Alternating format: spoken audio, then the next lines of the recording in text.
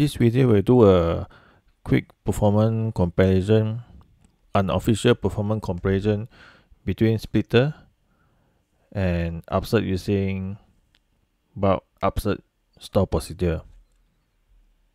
As you can see the takeaway, summary, conclusion, splitter is slow and bulk is very fast. To give a picture and how fast and how slow, let's look at how the CPI flow is built first. This is the iterating splitter. You should aware of this concept. If not, you refer to the past video. Our input is an XML that contain thousand record A0001 until A1000 and here you will take the customer ID and company name and then construct this upsert special customer execute XML SQL and then call to uh, data source I already deploy and now I'm going to delete everything from this special customer table. Now it's empty. And I'm going to run it. It will take some time. I will pause for now and resume back after it's complete okay um back this actually is not complete yet. Just uh less than few minutes I less than one minute. But I want to show you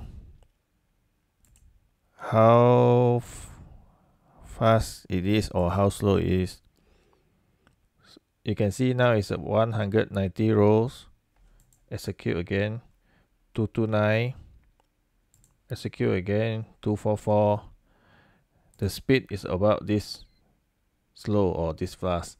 257 and so on 277 because it execute row by row from CPI to database back to CPI and then to the database again. So this is how slow it is. I will now pause again. Okay I'm back. It's done it took about 4 minutes 15 seconds to insert all.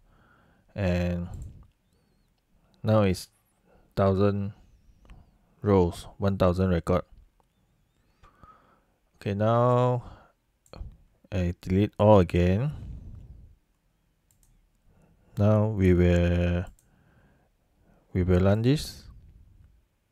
I already prepare. This is the same 1000 record. And now this time we use the XML batch upsert with the set base update and insert in the store procedure. In 3 2 1 send. So it's done. Less than less than one second it's already done. And we check at the the record table also 1000 if I run it again this is a 600 over millisecond. I run it again the second time is a bit faster 400 over millisecond only. Try again.